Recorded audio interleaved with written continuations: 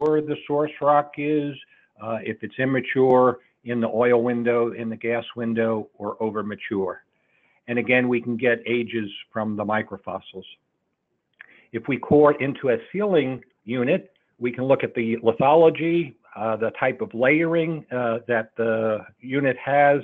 We can take some samples and get uh, vertical permeability measurements. And again, we can get ages from microfossils. Uh, sidewall cores are much smaller. They're uh, typically one inch in diameter uh, to an inch and a half, uh, maybe an inch to maybe two inches uh, in height. again, if we're looking at the reservoir, we can look at most of the properties except sedimentary structures because as we fire the sidewall core into the formation, uh, we tend to uh, destroy uh, some of the fine structures of the uh, sedimentary layering. In the source, we can get the same four types of information that we can get with the conventional cores. And for seal, uh, we can get the lithology and the ages, but because of the damage to the formation as uh, we obtain the sidewall core, information on how the rocks are layered and an idea of what the vertical permeability might be uh, is usually not uh, uh obtainable. And uh, the other type of well samples we can get are cuttings. Uh, here I have a picture of a person drilling through wood, and as the drill goes down, little bits of, of the wood material comes up. and that's the same type of thing that we get when we drill a well. Uh, we have fluids that we have to circulate to try to keep the cutting edges clean and, and uh, vacate the uh, hole of the uh, sediment particles. And so as that fluid is circulating and the rotary bit is uh, uh, crushing and, and chomping on the rocks, small fragments of the rock will break loose and it will float up with the drilling fluid. The uh, picture of somebody's hand uh, is holding some uh, uh, cuttings uh, that were collected at a particular well. Uh, these fragments can come to the surface as we're drilling, similar to the wood shavings, and they can give us an indication of lithology and age.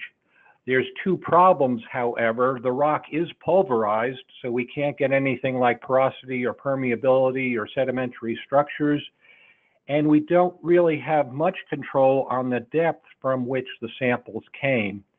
So the little samples uh, of rock that the person is holding in his hand, uh, maybe we know that uh, it should take two hours for the drilling fluid to get from the bottom of the hole up to the surface. And so we could back calculate two hours ago where was the rotary bit drilling. And we could assume that that might be the depth at which these samples came. But as we're drilling, material is going to slough off and uh, be carried upward uh, along with the drilling fluid. So these little pieces of rock could have come two hours ago from the bottom of the hole, or it could have been cavings or, or uh, pieces that broke off anywhere that we have not yet cemented the well. Some of the common logs are shown here on the top, and the properties that they would measure are down the uh, left side. The red arrows mean it's a major source of information. The green is it uh, gives us some information, not uh, as uh, important. Uh, we'll talk about the gamma ray log.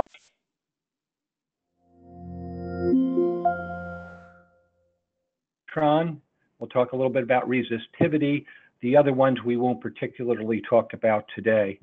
Uh, the core, as you can see, tells us a lot of uh, good information about uh, lithology, porosity, fluid type, fluid saturation, permeability, and stratigraphy.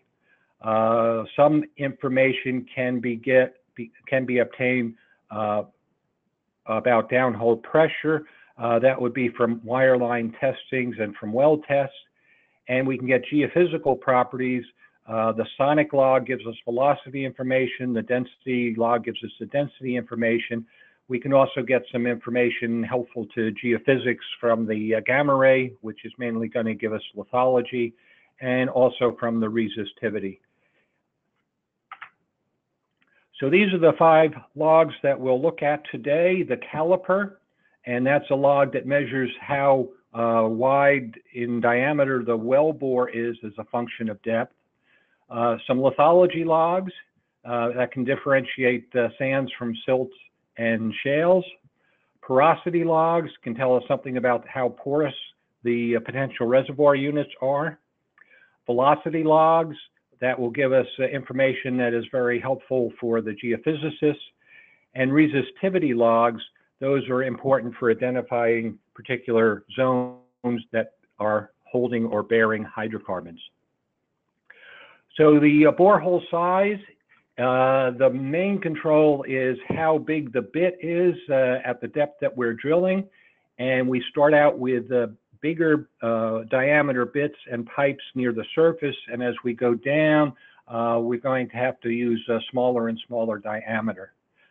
The borehole can also change as the stress state of the rocks change. Uh, we can also have some chemical reactions, such as the swelling of clays in shales or dissolution if we're going through a salt layer. Uh, and the drilling process itself can uh, impact the actual hole size. Uh, we can get a spiral uh, borehole where the uh, drill stem is not perfectly vertical, and the the rotary driller drill head can leave some bit marks, somewhat like um, the grooves on a bullet that the CSI people love to talk about. So here's a little diagram. The blues are meant to be more shaly, softer sediments. The uh, greenish here uh, could be a uh, harder, more compact uh, layer. It could be a sand. It could be a carbonate. And you can see the well size is uh, larger diameter where the rocks are softer, um, much less variability and more in line with the size of the uh, drill bit uh, in the harder, more compacted rocks. So the caliper log is the uh, instrument that we use in order to measure how wide the uh, uh, well bore is as a function of depth.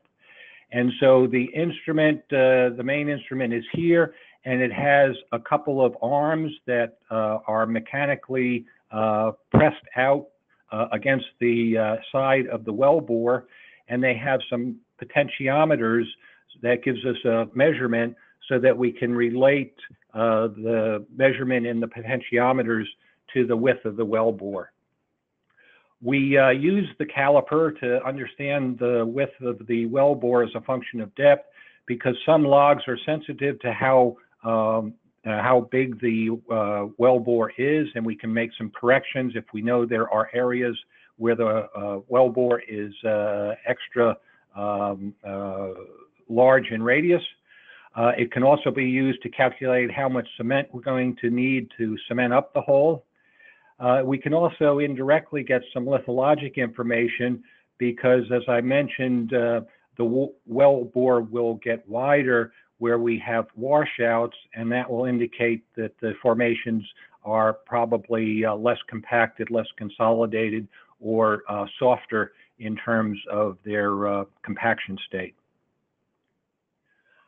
For lithology, uh, there are two logs that I'll talk about today. The first is the gamma ray, and the second one is the SP, or spontaneous potential. A gamma ray uh, instrument is a scintillation detector. It's similar to a Geiger counter, and it measures the natural radiation from a for formation. Uh, shales have more radioactive particles than silts and shales. And so the uh, gamma ray on the log plot here is the green line, and we have high values close to 100, and we have lower values uh, maybe in the uh, range of uh, uh, 30 to 40. What an interpreter would tend to do is draw a line, a reference line for high gamma values, and that would be called the shale baseline. And so if the green line is near the, the reference line, the dashed red, uh, the, the interpretation would be that would be primarily shale. And then as it gets to low values, that would tend to be sands, another thin shale, and another sand. So it's a, a good way to uh, differentiate uh, between shale and non-shale layers.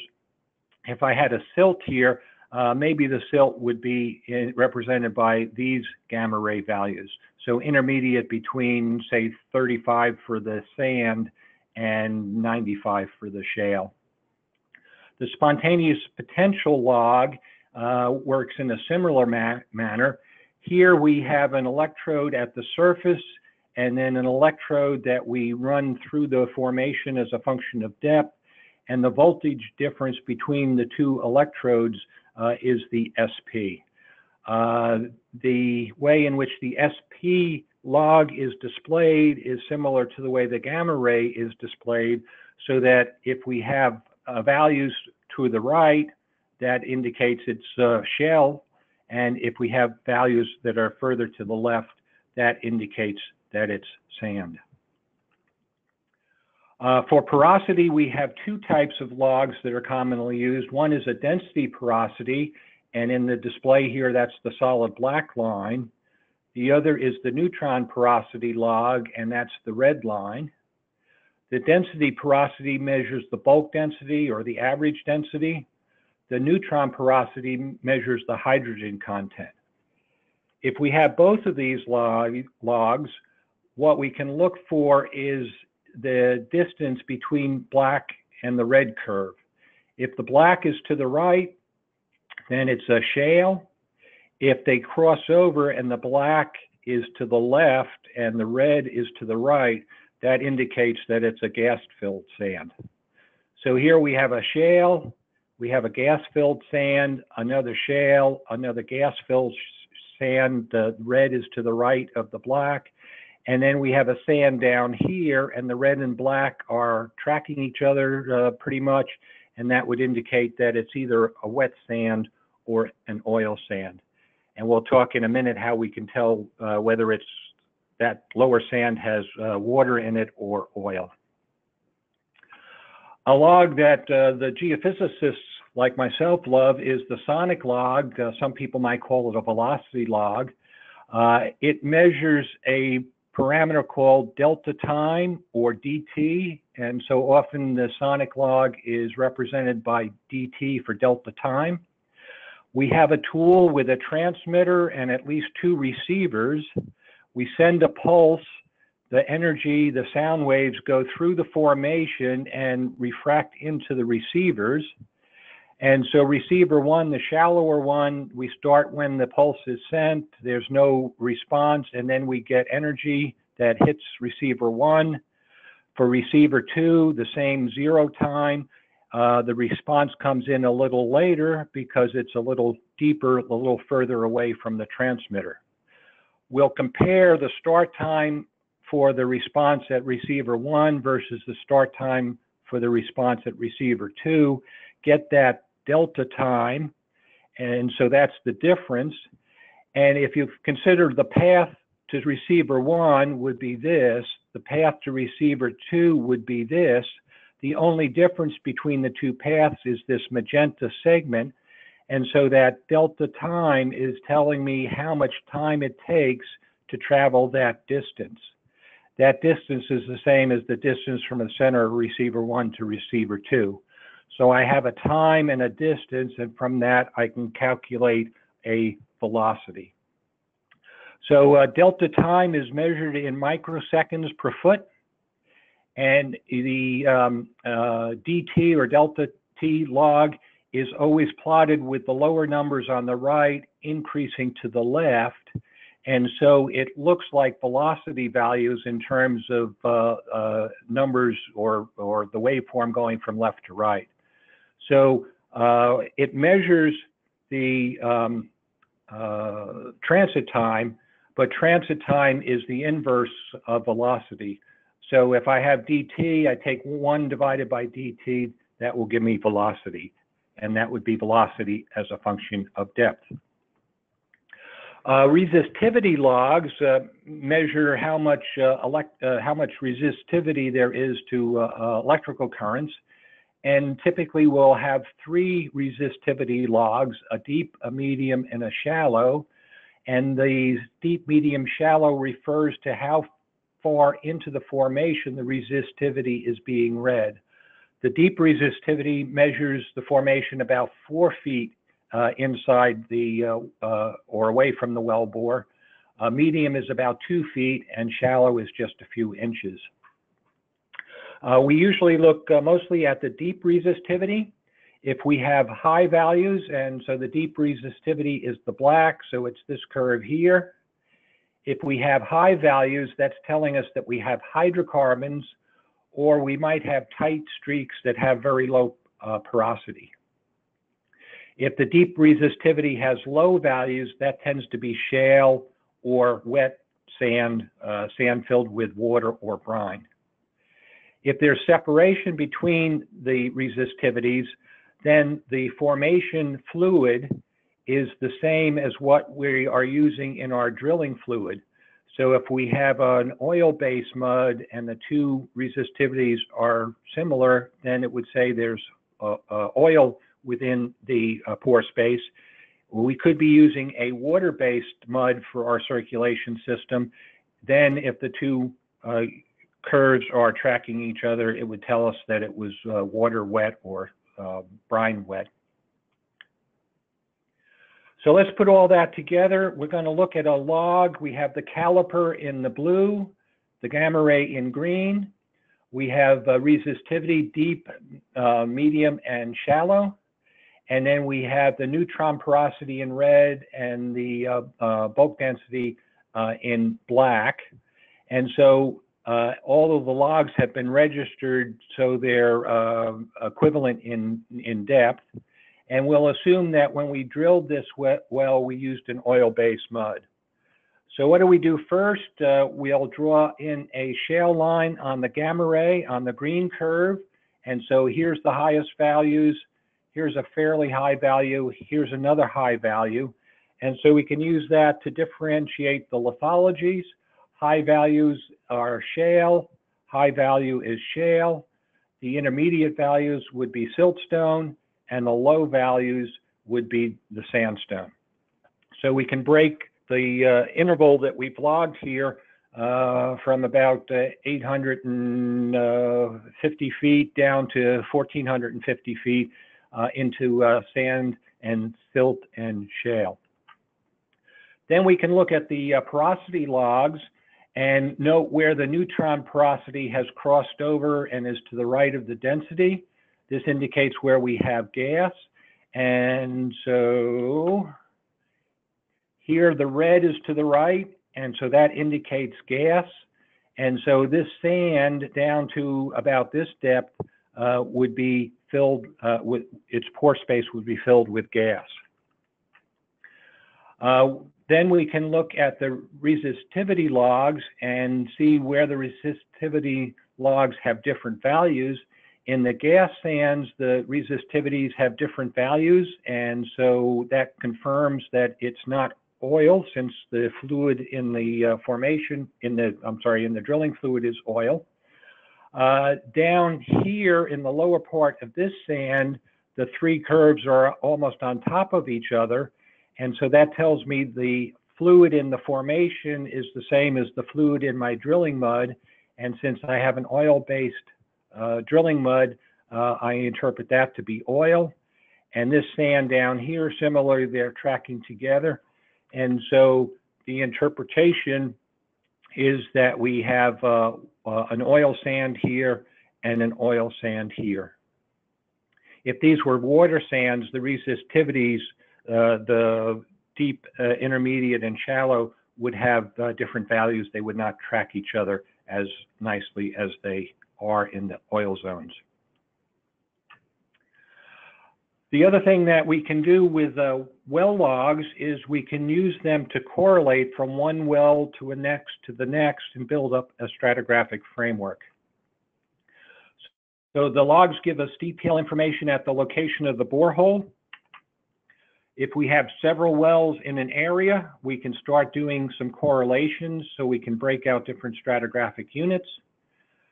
The correlation is based on characteristics of the well log responses, somewhat like uh, everyone's fingerprint has different patterns, and we can use those patterns to correlate uh, who's which uh, which person's uh, fingerprints are on the uh, murder weapon. Often we select a datum, and that's to try to correct uh, for post-depositional structuring and tilting. And so we'll figure out something that we think is was at a common depth, and then we'll flatten the other uh, well logs based on that uh, assumption of uh, a particular unit uh, one time at time of deposition being uh, nearly horizontal. When we start correlating from one well to another to another, there's two main philosophies. One is to look at the rock units or the lithology, and so we can uh, break out a lithostratigraphic correlation the other way to do it is to assume uh, what the geological timelines are, so looking for geologically time equivalent units. And if we can do that, that's uh, referred to as chronostratigraphy. Uh, which is better? Uh, that's a matter of heated debate. It somewhat depends on your use of the well log correlations. Uh, in some cases, the rock correlations, the lithostratigraphy, um, is uh, makes more sense. Uh, in other times, uh, the chronostratigraphy makes more sense. So here we have uh, four wells, well A, B, C, and D. Uh, this could be a gamma ray log or an SP log. the green here represents coastal plain sands and muds. The yellow are shallow marine sands, and the gray is shelf mudstones. And so one thing we could do is we could say, well, I have a really thick nearshore sand here and here and here and here. And so let me make the top of that thick sand a datum or a, uh, a surface along which I'll flatten uh, all the logs. And then I can start to say, uh, where is the coastal plain? Where are the nearshore deposits? And where are the shelf of mudstones? So this would be a um, lithostratigraphic or stratigraphic. The other way to do it, uh, perhaps I have an index fossil in the coastal plain sediments uh, that occurs here and here and here. And then I'm going to just project out. And now I'll hang or reference the wells based on that index fossil, which I'll assume is a timeline. And now I can correlate the coastal plain, the near shore, and the shelf. And these horizontal lines would be boundaries between different episodes or pulses of uh, sedimentation. Uh, using some terminology from Van Wagoner and all, uh, this would be one parasequence, this would be the next, this would be the third, this would be the fourth. So it's two different ways to take the same data and come up with a way in which to uh, relate uh, the rocks in one well to the rocks in the other three. Does this really matter? I've uh, referenced the four wells back to uh, true depth uh, in the upper and the lower. I've drawn in the correlations based on the lithostratigraphy from two slides ago and the chronostratigraphy from the previous slide. In terms of uh, trying to uh, find fields, there's probably not much of a difference. So the explorationist wouldn't be all that concerned. However, if we're in a field uh, production stage, then things might be important. Uh, as an example, let's say I wanted to inject some uh, gas in this lower sand in the B well if the lithostratigraphy is a better representation, then I'd be pushing uh, hydrocarbons and producing it out of the third sand in well C. But if a better way to correlate it is the chronostratigraphic method, if I inject gas in the lowest sand in B, it will push oil or gas uh, into the third sand in well C as opposed to the second sand. So when we get into uh, field production, uh, the ways in which we correlate things uh, uh become important. And uh, we've discovered that the chronostratigraphic way of doing correlations is more effective uh, in explaining production than is the lithostratigraphic formation method of correlating. And we'll talk more about that in a future lesson. Uh, here's an example from um, Louisiana. Uh, I have one, two, three, four, five wells. I have some environments that are shown down here. this is reddish stuff is supposed to be the orange stuff. the yellow is shallow marine sand, so those are my potential reservoirs and we can do a chronostratigraphic correlation. Uh, this was uh, done by Van Wagoner and his co-authors and published in 1990. And so we're uh, starting to build up a stratigraphic framework uh, for this particular, uh, I believe this is a, a, a single field. A second example, this is from uh, East Texas. we have the Austin Chalk, which is the um, carbonate looking uh, formation at the top of the four wells. There's more carbonate down at the base. This is the Buda limestone. And in between those two carbonates, we have a clastic section with uh, sands and silts and shales. And uh, well, A has one sand, B has three, C has three, D has one. One way to correlate them, those sand bodies would be something like this. Another possibility is to correlate them something like this. Question is, I'll go up a slide, is this a better way to correlate or is this more reasonable in terms of the geology? Uh, in this area, we have a seismic line. Uh, here is the position of well C and well D. And, oops, sorry. Uh, the package that we were looking at with the clastics is the one that's not dimmed out with the gray, and you can see that the seismic reflections are dipping down to the right. And so they suggest that uh, this type of correlation is probably more reasonable. Now here's the same cross section. Now it's referenced all the wells to true vertical depth, so 12,000, 13,000, 14,000 feet. Here are the sands and there is a gas sand in the North Oaks field, this first sand. It waters out by the time I get to uh, the second well. This well is wet. These sands are wet, but there is a field, a gas field, the Hortense field, that is in between these two guys. And if I correlated the sands as I did on the first slide where things were more flat lying, I would not be able to explain the existence of this Hortense field. Uh, the Hortense field was drilled after these four wells, and so um, somebody was either very technically savvy and realized he had a stratigraphic trap there, or somebody was extremely lucky. And one of the uh, adages in our industry is I'd rather be lucky than, than uh, technically correct. Uh, there is an exercise uh, with exercise four. Uh, it has, uh, here's the base map. It has five wells and there are uh, uh, resistivity and SP, I think it is, or gamma ray, I can't quite remember now, logs. And your task is to use the five wells, cut them into individual strips, and then try to do a correlation using a uh, uh, well character uh, fingerprint type method to correlate from well five to four to three to two to one. So I don't have time to go into exercise four anymore. This is kind of the teaser. So that's the uh, end of my uh, prepared remarks. Uh, we've worked now now down through lecture number four, well data. Uh, Thursday of this week, uh, we'll have uh, lecture number five on seismic data. Uh, then we're going to have to have a two-week hiatus.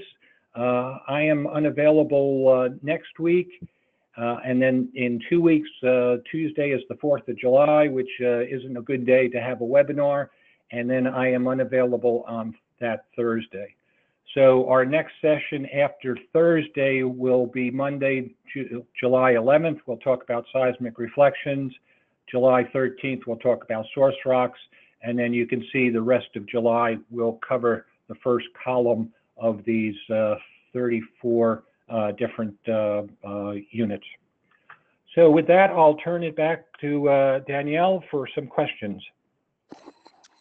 Great, thank you, Fred. Um, we have a question that came in already. Uh, what is the geophysical aspect of the resistivity log?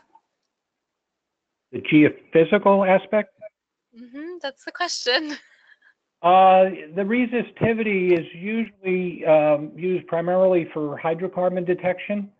And so offhand, I cannot think of uh, a real geophysical application other than uh, it's important for an interpreter to know where his, uh, his or her hydrocarbons are located. Okay, great. Um, that was the only question that we had so far. I don't know if we want to wait maybe a minute, but um, and if there's a question on previous weeks or, or previous lessons, that's fine as well. Okay. Okay, we got a question that came in. Um, will uh, EM uh, data replace seismic when tying to wells? Uh, EM is electromagnetic. That's and what I the. Oh, sorry. I thought that was a question. Uh, no, that uh, uh, I was trying to clarify it for those that were listening in. Um, uh, EM data is relatively new. It is a much lower uh, resolution than seismic. And so I have not seen EM data used uh, without uh, tying it back to the seismic data. So they work very well hand in hand. Uh, certainly we can use seismic without electromagnetic data. Uh, it would be difficult for me to envision using uh, EM data without having the seismic to understand the context within which uh, you're trying to interpret the uh, electromagnetic data. Great. Um, we had a question about, uh, can you explain more about how to obtain chronostratigraphy correlation, please? Yes. Um, we'll talk about that uh, more in some of the future lessons. Uh, let me see if uh, we will talk about that uh, when we get into the stratigraphic hierarchy and uh, seismic sequences. Uh, it turns out that seismic reflections tend to parallel the chronostratigraphic correlation lines as opposed to the lithostratigraphic. Um, one way in which to try to get the geo stratic, uh, the uh, geochronological lines is to use uh, fossils, first occurrence, last occurrence. we may have some sort of a unique bed, like an ash layer, that we can assume is is chronostratigraphically significant, a, a small um, moment in geological time. Uh, the other way in which we do it uh, using well logs is we do the uh, character match, uh, usually in shales, and uh, that's what exercise four focuses in on. Uh, and the similarity in the um, uh, logs from one well to the next to the next, uh, we will use to try to establish possible chronostratigraphic markers and then try to build a chronostratigraphic framework using that well signature correlation. Okay, um, we have a, another question about, um, it says, what about the FMI logs and DIP data? How do they work and what are they used for? Uh, I think um, my depth of experience with FMIs are, are not enough for me to want to delve into that. Okay. So I'm gonna I'm gonna hit the pass button on that one. Okay, no worries. Um, how do fault slash discontinuities at the subsurface impact the reliability of wireline logs like uh, porosity logs? Can you uh, repeat that for me? Sure. How do faults or discontinuities at the subsurface impact the reliability of wireline logs uh, like porosity logs? Well, if you have uh, if you have discontinuities near the surface, Um, hopefully you're able to uh, co-register all the logs that you're trying to correlate so that you have something at depth that you can assume is uh, reasonable to flatten on. Okay. Um, we have another question. Um, how would you know if the values from a sonic log are erroneous? Like, how do you know that it's real data? Yes, with the sonic log, and I think we'll talk about that uh, in a future lesson. Um, we do have to worry about editing the logs, and there is a thing called a cycle skip. Uh, let me see if I can uh, get to the right slide.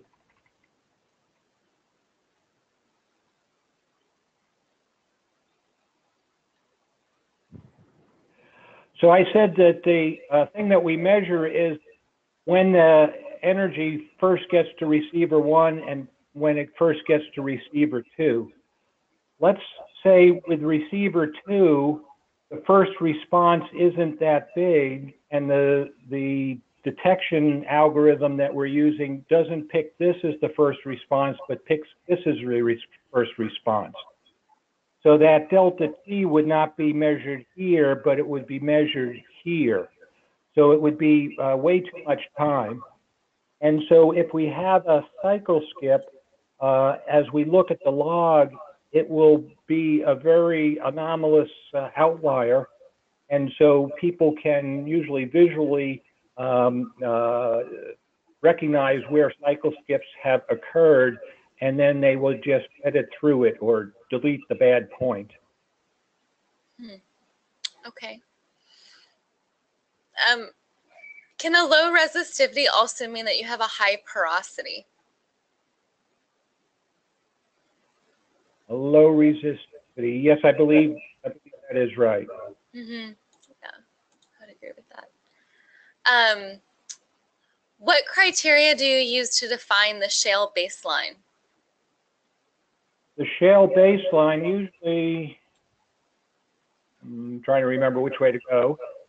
Um, what we'll look at log itself and see where the maximum values tend to fall.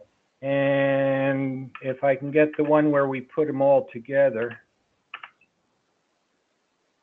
Um, so here the here's the 0 to 100 for gamma ray. The biggest values look to be just over 50. And so in this case, uh, the shale baseline was drawn uh, in the position of uh, 50 on the, the 0 to 100. So it depends on how much radioactive material is in the shale, and if it's um, if it's got a lot of radioactive uh, material in it, it'll be closer to 100 or maybe even more than 100. Uh, if there's not that much radioactive uh, minerals within the shale, uh, then it might be 50 or, or even less. So it's all on a uh, relative basis. Uh, we look for what tends to be the bigger values and attribute that to shale, and then uh, things that are uh, significantly less than that uh, would be built in the sand. Okay. Um, what is the difference between a sonic log and VSP data? The sonic log uh, measures uh, interval transit time, uh, that delta T that I was talking about. A VSP is a, um, a geophysical experiment we, we do when we have a well bore. We will have a surface seismic source. Uh, let's say we drilled offshore uh, from a rig or a platform uh, we could lower an air gun off the side of the uh, the drill rig, and we would lower geophones down into the well bore at uh, 7,000, 8,000, 9,000, 10,000 feet. We would um, uh, uh, fire the air gun, and then we would listen for how long does it take the energy to go from the surface down to uh, 7,000 feet, how, how long to 8,000, how long to, to 9,000. And so uh, if the geophones in the wellbore are separated by more than about 500 feet, we call those check shot surveys or velocity surveys. If the geophones are more on the order of uh, 50 feet apart or 25 feet apart, then we call it a vertical seismic profile of ESP. And again, we'll talk about uh, well seismic ties in lesson 15. We'll talk about check shot surveys and we'll talk about VSPs. Great. Um, I, I think you've pretty much, a lot of these questions are related to like sonic logs and different things. And I feel like you've answered them in relationship to like velocity model building. Um, and also there was a question about how this may relate to tomography. I don't know if you want to answer that. The tomogra tomography is a very uh, specialized uh, set of, uh, of uh, data processing. And I think it's really beyond the, the level of, uh, of this course. Right. Um, okay. Yeah, I think I think you've pretty much answered everything that I'm looking through the questions. Um, okay. So yeah. All right. Well, great. Well, with that, thank you everyone for attending. Thanks, Fred, again for giving this lecture, and we look forward to seeing you on Thursday. Take care, everyone. Thanks for tuning in. Thanks. Bye-bye. Bye.